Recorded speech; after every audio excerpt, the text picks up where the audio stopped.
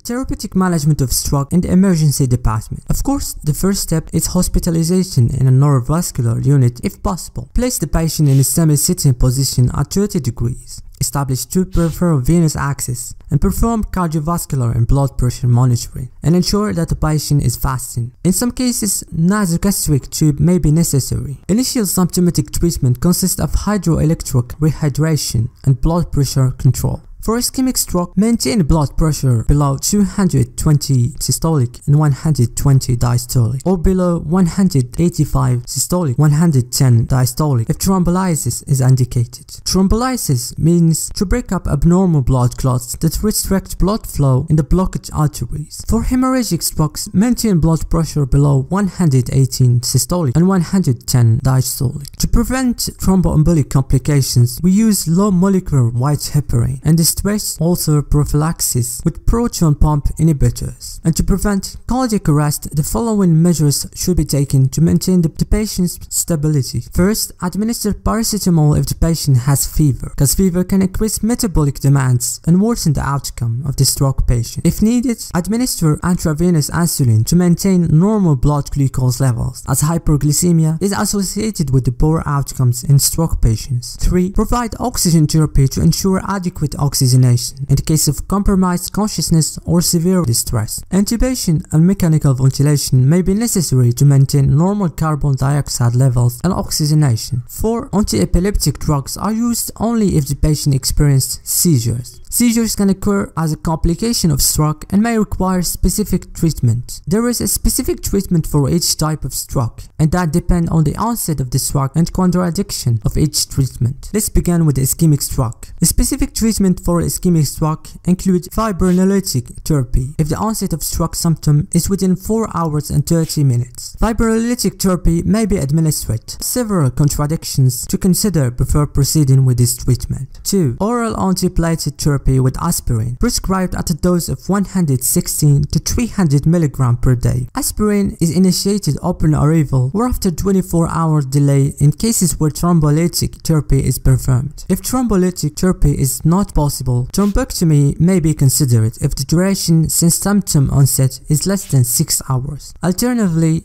intravenous aspirin at a dose of 215 mg can be administered. Finally, anticoagulation is rarely indicated in ischemic stroke. Regardless of the type of stroke, it is crucial to avoid converting an ischemic stroke into an hemorrhagic one. Now let's talk about hemorrhagic stroke. The specific treatment for hemorrhagic stroke starts with discontinuing all anticoagulant treatments and ensure blood pressure control below 118 systolic and 110 diastolic as previously mentioned. In the cases of anticoagulant overdose, discontinue anticoagulation and administer prothrombin complex concentrate or PCC containing factors 2, 7, 9, and 10, along with vitamin K. Surgical treatment may be considered in rare cases. This treatment approach aims to address the specific type of stroke and manage it accordingly, taking into account the patient's condition and potential contradictions. Long-term treatment for individuals who have experienced an ischemic stroke involves several measures to reduce the risk of recurrence and manage underlying risk factors. One important aspect is the use of statin, medications that help control dyslipidemia and lower cholesterol levels. Additionally, antihypertensive medications are prescribed to manage high blood pressure, which is a significant risk factor for stroke. And to prevent arterial thrombosis, antiplatelet agents are often prescribed, as well as proper management of diabetes through a combination of medication and lifestyle modifications. In cases of